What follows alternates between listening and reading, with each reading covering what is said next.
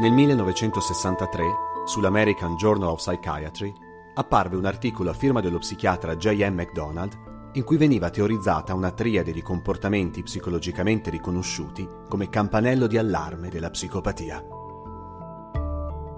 Gli studi dell'epoca avevano evidenziato che la piromania, ovvero l'intensa ossessione per il fuoco, l'enuresi notturna, fare cioè la pipì a letto, superata l'età in cui è normale farlo, e infine lo zoosadismo, ovvero la crudeltà verso gli animali con torture e uccisioni, erano tre specifici comportamenti presenti nell'infanzia della maggior parte dei serial killer. Col tempo, molti ricercatori hanno messo in discussione la triade di McDonald, ma ancora nessuno ha saputo rispondere alla domanda più spaventosa di tutte. Assassini, si nasce? Sono Massimiliano Iattoni Dallasen e questo è Dark Souls.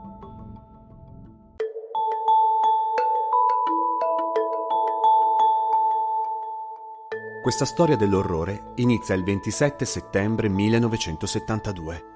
È un mercoledì e la scuola è ricominciata già da un mese e mezzo in Florida, ma a Fort Lauderdale, 40 km a nord di Miami, i pomeriggi hanno ancora tutta la bellezza dell'estate, sole splendente e aria frizzante che arriva dall'oceano. Susan Place, 17 anni, e la sua amica Georgia Gissap, di 16, decidono che di compiti ne hanno fatti abbastanza per quel pomeriggio. Ora hanno voglia di uscire nel salutare la mamma di Susan, dicono che se ne andranno in spiaggia a suonare la chitarra. Fuori dalla porta di casa, un uomo le attende seduto in auto. La mamma di Susan, Lucille Place, è però inquieta. C'è qualcosa in quella figura in ombra all'interno dell'auto che l'allarma. Allora chiede a Susan e a Georgia chi sia quell'uomo, ma le ragazze stanno già correndo fuori casa. Si chiama Jerry Shepard, grida Susan, mentre chiude la porta alle sue spalle. Lucille fa in tempo ad annotarsi il modello dell'auto, una Datsun di color turchese, prima che scompaia in fondo alla strada. Questa è l'ultima volta che qualcuno vedrà vive Susan e Georgia. La sera stessa, i genitori delle ragazze ne denunciano la scomparsa. Lucille dà alla polizia la descrizione dell'auto e il nome dell'uomo, così come le è stato detto dalle ragazze. Ma al registro automobilistico della Florida non risulta nessun Jerry Shepard, proprietario di una Datsun di color turchese. Sulla scomparsa delle due ragazze, derubricata come volontaria, cala momentaneamente il silenzio. Il 23 ottobre 1972, meno di un mese dopo la scomparsa di Susan e Georgia, due studentesse di 14 anni, Mary Briscolina ed Elsie Farmer, si trovano sulla strada che da Fort Lauderdale porta alla zona commerciale di Pompano Beach le due adolescenti hanno deciso di fare autostop per raggiungere i negozi vicino alla spiaggia e fare un po' di shopping. Nel romanzo di Jack Kerouac Sulla strada del 1957, riconosciuto come uno dei manifesti della Beat Generation, l'autostop compare spesso. È il mezzo di trasporto preferito da Dean Moriarty, il protagonista, e quello utilizzato per la maggiore dai ragazzi che tra gli anni 50 e gli anni 70 del secolo scorso volevano mettersi in viaggio lungo le strade dell'America.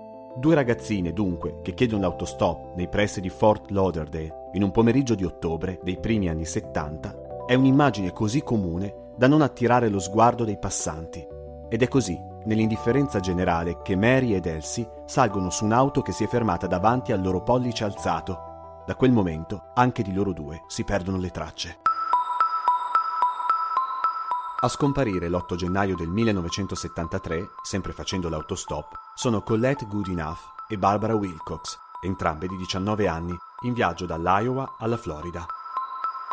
Nessuno pensa di collegare la loro scomparsa a quella delle altre quattro ragazze, fino al giorno in cui, il 1 aprile 1973, ad Hutchinson Island, una delle strette e lunghe isole che fanno da barriera alla costa della Florida, Tre uomini che stanno raccogliendo lattine e immondizia su una delle più belle spiagge dello Stato scoprono i resti di due corpi. I cadaveri sono in avanzato stato di decomposizione, ma è evidente che sono stati decapitati prima di essere sepolti e mostrano ancora i segni sulle ossa di un inizio di macellazione. Analizzando la scena del delitto e rinvenendo i resti di una corda su un ramo lì accanto, gli inquirenti stabiliscono che le vittime sono state legate a un albero prima di venire massacrate. Sarà poi il medico legale a confermare che si tratta di due adolescenti e grazie alle impronte dentarie a dare loro un nome. Sono Susan Place e Georgia Gissap. Davanti ai poveri resti di Susan e Georgia, la polizia è costretta ad indagare più seriamente sulla Datsun color turchese segnalata dalla madre di Susan. Finalmente, dopo sei mesi dalla loro scomparsa, dal registro delle automobili della Florida, gli inquirenti riescono a risalire a un uomo che possiede un'auto identica. Non si tratta però di Jerry Shepard, ma di Gerard Sheffer, un poliziotto che l'anno precedente è finito in cella per aver aggredito due adolescenti.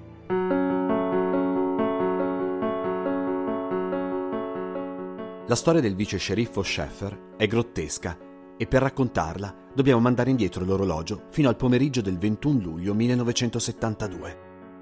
Quel giorno, il 26enne Gerard Sheffer, assistente dello sceriffo della contea di Martin, è di pattuglia quando incrocia due ragazze, Nancy Trotter, di 17 anni, e Paula Wells, di 18, che grazie all'autostop dal Michigan stanno raggiungendo la spiaggia della Florida.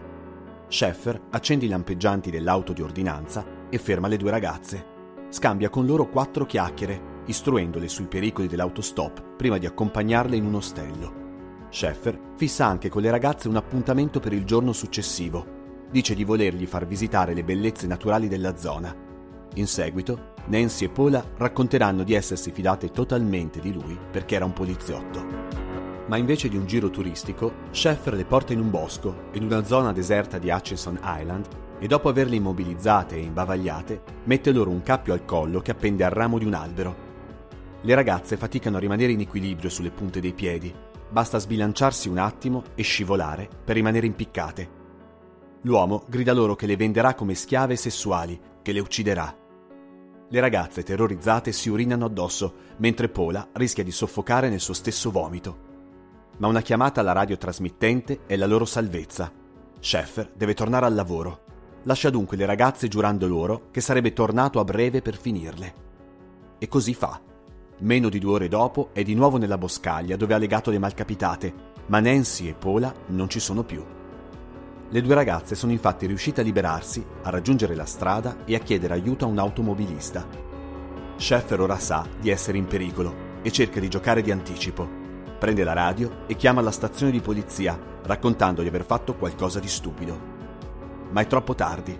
L'automobilista che ha raccolto Nancy e Paula le ha portate proprio dallo sceriffo di cui Sheffer è vice che lo convoca immediatamente.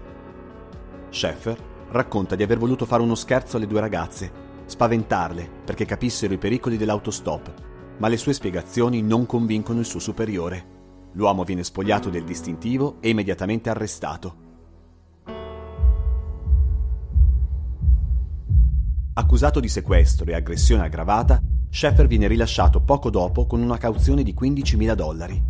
Al processo, nel successivo novembre, si dichiarerà colpevole di aggressione, mentre gli altri capi d'accusa saranno ritirati.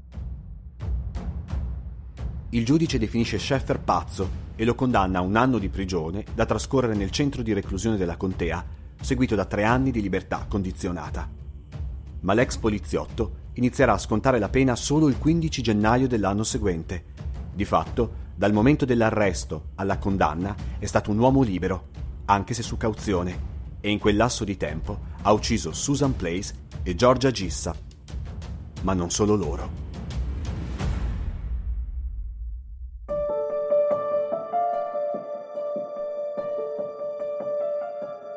A questo punto, collegato il nome di Sheffer alla Datsun turchese, i suoi ex colleghi tentano di metterlo sotto torchio. Ma l'uomo nega di aver mai avuto a che fare con le due ragazze, i cui resti però sono stati ritrovati nella stessa area dove Sheffer ha tenuto sequestrate Nancy Trotter e Paula Wells.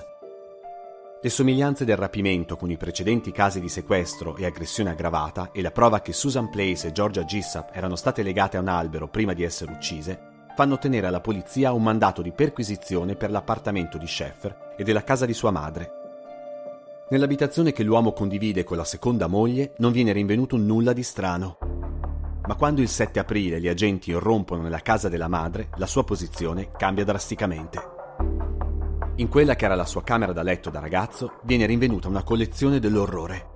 Dentro l'armadio e i cassetti gli agenti trovano gioielli da donna, ritagli di giornale che parlano di due ragazze scomparse nel 1969 e una sorta di diario delirante in cui l'uomo descrive stupri, omicidi e mutilazioni di corpi. Il tutto corredato da orrendi disegni. In una scatola, poi, vengono rinvenuti dei denti e un centinaio di fotografie di donne e dello stesso Sheffer con indosso biancheria femminile. Gli inquirenti allora iniziano a catalogare gli oggetti nel tentativo di risalire alle proprietarie. Col tempo si riuscirà a dimostrare che alcuni gioielli appartenevano a Carmen Hadlock, una cameriera scomparsa pochi mesi prima. Altri verranno riconosciuti dai genitori di Mary Briscolina e molto più tardi una collana condurrà a Lee Bonedis, una vicina di casa di Sheffer e sua compagna di scuola, scomparsa misteriosamente nel settembre del 1969. I suoi resti verranno ritrovati quasi dieci anni più tardi, nel 1978. Sheffer era stato sentito più volte lamentarsi di Lee Bonedis, l'accusava di spogliarsi senza tirare le tende di casa e questo, diceva, era inaccettabile.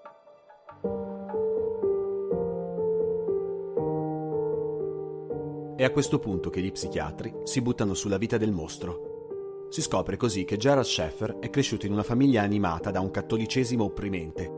Era stato un ragazzino solitario e introverso che amava torturare e uccidere piccoli animali domestici. Ecco il primo segnale, uno dei tre comportamenti anormali che secondo MacDonald dovevano far scattare i campanelli d'allarme. Il padre, un uomo violento dedito all'alcol, apostrofava spesso la madre con epiteti come sgualdrina o puttana. L'uomo, però, era spesso in viaggio per lavoro e il giovane Gerard cominciò presto a farsi l'idea che il padre avesse delle amanti occasionali. In lui ben presto la figura femminile si associò alla prostituzione e col tempo il ragazzo iniziò a maturare un odio verso le donne che esercitano il mestiere più antico del mondo.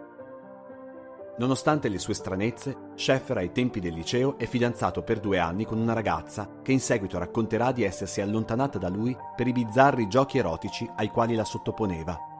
Secondo il racconto di un'altra fidanzata e poi sua biografa, Sondra Landon, aggiunse alle sue perversioni anche il voyeurismo.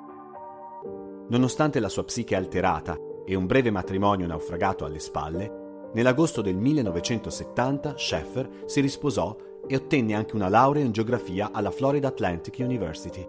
Dopo un mese era poliziotto nella cittadina di Wilton Manor, che lo assunse senza un controllo dei precedenti o un test psicologico. Due anni più tardi era nella contea di Martin, dove arrivò falsificando la lettera di raccomandazione dello sceriffo di Wilton Manor.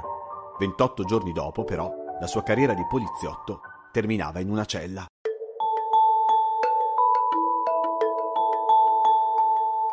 Gerard Sheffer era quello che si dice un serial killer missionario, un pazzo sanguinario convinto di avere una missione, ripulire il mondo dalle prostitute. Qualsiasi ragazza che incontrava su una strada era per lui una puttana che meritava di essere punita.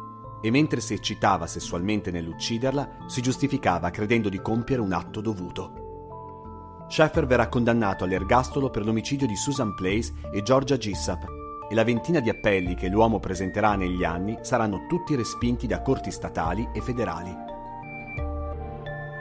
Ma nel tempo la lista delle possibili vittime di Sheffer è andata crescendo. Nel 1990 l'ex fidanzata Sondra Landon ha pubblicato una raccolta di racconti scritti dal mostro. La polizia ritiene che le descrizioni siano la trasposizione letteraria di crimini reali. Sheffer negherà sempre pubblicamente queste accuse ma ai suoi avvocati arriverà a confessare tra gli 80 e i 110 omicidi. Una ragazza l'ho crocifissa, scriverà in una lettera. Un'altra l'ho frustata a morte con una cinghia e l'ho poi ridotta in gelatina con una mazza da baseball. E poi ancora, una mia vittima è affogata nel suo stesso vomito mentre mi guardava sventrare la sua fidanzata. Non sono sicuro che conti come un omicidio in più, riesce a scherzare, per poi chiudere la lettera con una domanda mostruosa. Le vittime incinte, contano come due omicidi. Le lettere in cui Gerald Sheffer si vanta di essere il più grande serial killer del mondo arrivano alla fine in mano ad alcuni giornalisti che le pubblicano. Sheffer intenterà numerose cause per diffamazione, ma le perderà tutte. La vita del poliziotto killer si conclude il 3 dicembre 1995, a 39 anni d'età, quando un altro detenuto, apparentemente senza ragione, fa eruzione nella sua cella, lo pugnala a entrambi gli occhi e lo sgozza la madre di Georgia Gissa definirà l'omicidio di Sheffer un caso di giustizia in ritardo. Ho sempre saputo che avrebbe ricevuto ciò che si meritava prima o poi, ha detto la donna. Solo avrei voluto per il bene di